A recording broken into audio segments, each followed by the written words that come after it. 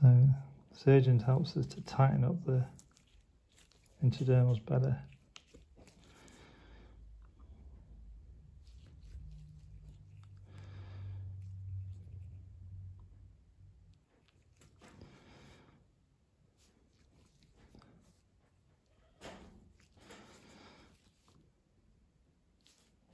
Okay, I'll just snip the loop off.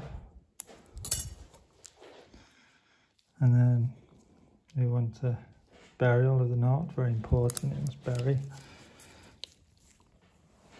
So yeah, probing around, trying to find somewhere where the, whittling the needle, trying to find somewhere where the needle just slips in like that. Nice and easy. That means the knot should bury. Pull on that and then pull on the skin. It's like it's gone.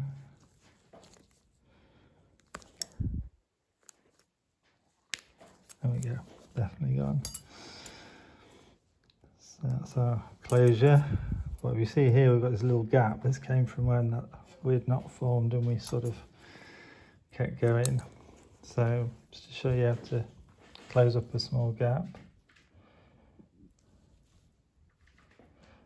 So we call it an intradermal mattress, so just goes through one side intradermally. A nice decent bite.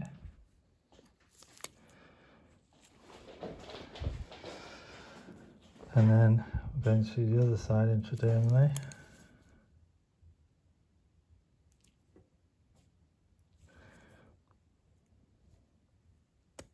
Nice decent bite without coming through. Doesn't seem strong enough that one, so it's going to go again.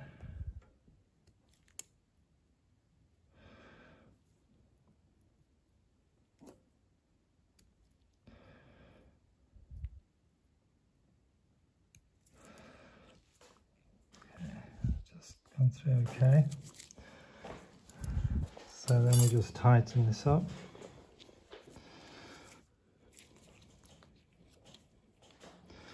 And tie off the surgeons.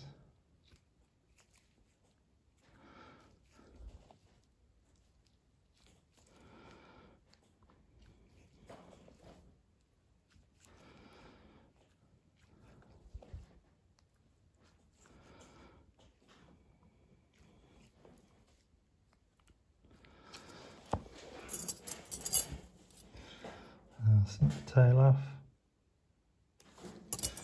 And again, we need to bury this.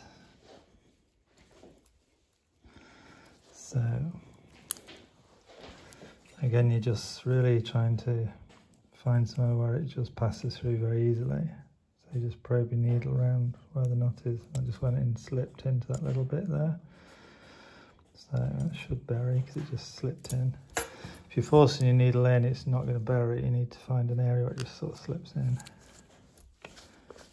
We go. And that sort of patched up that intradermal.